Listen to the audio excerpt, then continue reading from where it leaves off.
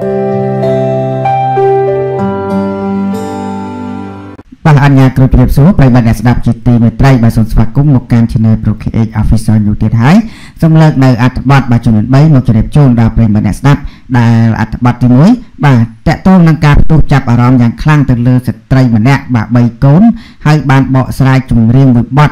ដែលមានចំណងជើងថាអោស្រុកមួយមុត បាទដែលជាការនិពន្ធដោយបាទសម្ដេចតេជោនោះហើយឥឡូវនេះស្ដាប់ទៅប៉ັດជាព្រោះរំដំបាទធ្វើឲ្យគ្រប់គ្នាទៅសារទៅលើស្ត្រីនេះថាច្រៀងមិនចាញ់អ្នកអាជីពទៅឡើយបាទទៅទៀតយើងតាមដានបន្ថែមនៅអត្ថបទនេះហើយអត្ថបទទី2អុកញ៉ាល្បីឈ្មោះខាងជេពេលនេះច្បាប់ចាប់ផ្ដើមអនុវត្តបណ្ដាបណ្ដាហើយប៉ុន្តែមិនដឹងថារោងបណ្ដឹងភាគីខាងណាទេស្រាប់តែនៅពេលនេះច្បាប់អនុវត្ត ខ្លុំមុខដូចនិនចាបាទអញ្ចឹងប្រិមិត្តបាទស្គាល់ហើយបាទឥឡូវនេះគឺតកតងនឹងបាទលោកអុកញ៉ាអានជាមីបាទត្រូវបានតឡាការហ្នឹងហៅបាទទៅបំភ្លឺបាទភ្លឺរឿងអីទៅបាទញាក់ផ្អើលមែនតើបាទប្រិមិត្តតិចទៀតយើងមកតាមដានលម្អិតបន្ថែមនៅអត្ថបទនេះហើយបាទហើយអត្ថបទទី3គឺតារាកំ pl ែងអ្នកនាងក្រតបាទបានបង្ហាញបាទចំការដាំបន្លែបាទយ៉ាងធំធេងមើលទៅពិតជាមានសុភមង្គលនិងសប្បាយរីករាយជាខ្លាំង បាទពិតជាល្អមែនតើបាទនាងក្រតបាទអញ្ចឹងប្រិមិត្តស្គាល់ហើយគឺជាតារាកំ pl ែងបាទជើងចាស់មួយរូបផងដែរបាទប្រិមិត្តយើងមកតាមដានជាមួយខ្ញុំបាទនៅអត្ថបទបាទទាំងនេះដូចតទៅពីរួមមិនធម្មតានោះទេស្ងាត់ស្ងាត់ស្ត្រីម្នាក់ដាក់មួយបទដែលមានចំណងជើងថាឲ្យស្រុកនិមិត្តស្ដាប់ហើយឡើងព្រឺរង កាលពីពេលថ្មីថ្មីនេះផ្ទុះការចាប់អារម្មណ៍យ៉ាងខ្លាំងដោយមាន page Facebook មួយបានបង្ហោះវីដេអូឃ្លីបរបស់ស្ត្រីម្នាក់3កូនអមជាមួយនឹងបទចម្រៀងមួយបទយ៉ាងក្រអួនក្រអៅបង្ហើសំនៀងឆក់យកបេះដូងអ្នកស្ដាប់ឲ្យលងលក់ទឹកដមសំឡេងរបស់នាងចម្រៀងមួយបទដ៏មានអត្ថន័យធ្វើឲ្យអ្នកស្ដាប់ហើយអាចនឹងស្រក់ទឹកភ្នែកតាមនោះព្រោះថាអត្ថន័យមួយបទនេះបង្កប់ទៅដោយខ្លឹមសារយ៉ាងជ្រាលជ្រៅចាក់ដោតចំបេះដូងអ្នកស្ដាប់ប្រសិនបើសាច់រឿងរបស់ខ្លួនទៀតនោះ កាន់តែក្តុកក្តួលថែមទៀតផងបទចម្រៀងដែលស្ត្រីក្នុងវីដេអូនេះបានធ្វើការបកស្រាយនោះដែលមានចំណងជើងថាអោស្រុកនិមុតក្នុងបទចម្រៀងមួយបទនេះបានធ្វើឲ្យអ្នកទស្សនាជាច្រើនរត់ចសើពីទឹកដមសម្លេងដ៏ក្រអួនក្រអៅរបស់នាងពិតជាមានទឹកដមសម្លេងផ្អែមមិនមិនចាញ់តារាចម្រៀងអាជីពនោះទេបាទពិមិត្តនេះគឺតកតងនឹងបាទបងស្រីម្នាក់យើងឃើញគាត់ច្រៀងបាទ3កូនផងហើយច្រៀងបានយ៉ាងពិរោះមែនតើបានទៅទៀតយើងស្ដាប់មើលថាតើពិរោះប៉ុណ្ណា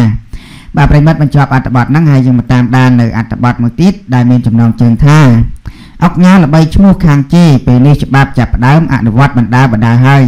ប៉ុន្តែមិនដឹងថាបណ្ដឹងភាគីខាងណាទេស្រាប់តែនៅពេលនេះច្បាប់អនុវត្តខ្លួនមុខដូចនិនចាភ្នំពេញលោកស្រីអៀនសៀវមីត្រូវបានតុលាការនៃអាយកាអមសាលាដំបងរាជធានីពេញក៏ហៅចូលបំភ្លឺនៅព្រឹកថ្ងៃទី24ខែធ្នូឆ្នាំ2020 ដែលពាក់ព័ន្ធនឹងករណីបរិហាជាជាសាធារណៈញុះញង់ឲ្យមានការរើសអើងដែលប្រព្រឹត្តនៅរាជធានីពេញតែបើជាឃើញវត្តមានរបស់លោកស្រីអៀនសមីចូលមកបំភ្លឺនៅសាលាដំបងរាជធានីពេញនៅព្រឹកថ្ងៃទី23ខែធ្នូឆ្នាំ2020ទៅវិញតើជាមូលហេតុអ្វីបានជាលោកស្រីបំភ្លឺមុនការកំណត់ដូច្នេះសូមជម្រាបជូនថាលោកស្រីអៀនសមី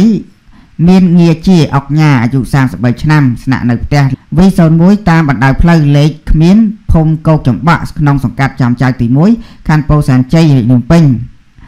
ដែលមានងារជាអុកញ៉ាឈ្មោះខាងជេជេគេកប់កប់ម៉ត់ពេល live នៅក្នុង page ក្នុងបណ្ដាញសង្គម Facebook មិនញញើតម៉ត់ពេលនេះត្រូវបានច្បាប់ចាប់ផ្ដើមអនុវត្តបណ្ដាបណ្ដាហើយប៉ុន្តែមិនដឹងថារោងបណ្ដឹងភាគីខាងណានោះទេ ស្រាប់តែនៅពេលនេះដែរច្បាប់អនុវត្តឲ្យជប់បំភ្លឺរយៈពេល72ម៉ោងរួចពេលនេះលោកស្រីអានស៊ីមីបានចេញពីតុលាការវិញហើយគាត់មិនបានធ្វើការបកស្រាយអ្វីជាមួយនឹងក្រុមអ្នកសារព័ត៌មាននោះទេគាត់បានពាក់ម៉ាស់និងពាក់មួកឃ្លុំបិទចិត្តដូចនិនចាហើយក៏ឡើងរថយន្តសេរីទំនើបម៉ាកប្រុសស្ពសពាក់ស្លាកលេខភ្នំពេញ 2AQ 38 ខ្សែគុតជិះចេញទៅបាត់សមោល បាទប្រិមិត្តនេះគឺតកតងនឹងបាទអ្នកអុកញ៉ាអៀនសឹមមីដែលយើងស្គាល់ថាជាអ្នកលក់អនឡាញដ៏ល្បីឈ្មោះដែលមានសម្រស់ស្រស់ស្អាតហើយលោកស្រីក៏ធ្លាប់បាទជួយដល់បាទសង្គមផងជាច្រើនផងដែរបាទឥឡូវនេះស្រាប់តែបាទតឡាការក៏ហៅបាទមិនដឹងថាពាក្យបណ្ដឹងបាទខាងណានោះទេយើងមិនតាន់ច្បាស់ណាតើតែការបញ្ជាក់ពីលោកស្រីទៅយើងច្បាស់បាទប្រិមិត្តសូមបញ្ចប់អត្ថបទហ្នឹងហើយយើងមកតាមដាននៅអត្ថបទមួយទៀត តារាកំ pl ែងនៃក្រតលេងបង្ហាញផ្ទះដីចំការយ៉ាងធំធេងធ្វើឲ្យ fan fan លាន់មាត់រសើរគ្រប់គ្នាថាតារាកំ pl ែងស្រីជើងចាស់អ្នកនាងក្រតជាសិល្បករនីមួយរូបដែលមានឈ្មោះល្បីល្បាញយ៉ាងខ្លាំងជាពិសេសតារារូបនេះតែងតែធ្វើឲ្យទស្សនិកជនជាច្រើនចាប់អារម្មណ៍យ៉ាងខ្លាំងទាំងសមត្ថភាពកំ pl ែងតែម្ដងម្យ៉ាងតារារូបនេះមានសម្ដីចាក់ទឹកមិនលិចនោះទេ ហើយរពាក្យពេចន៍និងកាយវិការរបស់នាង មានភាពកំ pl ុកកំ pl ៃផងដែរ ទោះបីចូលសិល្បៈយូរឆ្នាំតែនាងក្រតនៅតែអាចធ្វើឲ្យអ្នកគ្រប់គ្រងស្រឡាញ់និងចូលចិត្តគ្រប់គ្រងនៅស្នាដៃរបស់ខ្លួនមិនចាញ់ពេលគ្រាមុនមុននោះទេក្នុងនោះដែរគេសង្កេតឃើញថាការរស់នៅក្នុងគ្រួសារជាមួយនឹងស្វាមីនិងកូនកូនប៉ັດប៉ັດជាមានសុភមង្គលកក់ក្ដៅមិនចាញ់ជីវិតប្តីប្រពន្ធរបស់តារាផ្សេងផ្សេងអាទៀតនោះទេ លើពីនេះទៅទៀតបើក្រឡេកមកមើលជីវិតឯកជនវិញឃើញថាបច្ចុប្បន្នអ្នកនាងក្រតរស់នៅយ៉ាងមានសេចក្តីសុខពោពេញទៅដោយសុភមង្គលយ៉ាងខ្លាំងមិនតែប៉ុណ្ណោះតារារូបនេះក៏កំពុងតែរស់នៅក្នុងជីវភាពធូរធារមានផ្ទះស្កឹមស្កៃតាមទៀតផងដោយឡែកថ្មីថ្មីនេះតារាកំ pl ៃអ្នកនាងក្រតបានបង្ហោះរូបភាពបង្ហាញផ្ទះចំការរបស់ខ្លួននៅតំបន់អរ៉ែងក្នុងខេត្តកោះកុងឲ្យមហាជនឃើញដោយផ្ទះចំការតារាសម្ដែងជើងចាស់រូបនេះ មានទេសភាពស្អាតព្រមទាំងមានបរិយាកាសស្រស់ថ្លា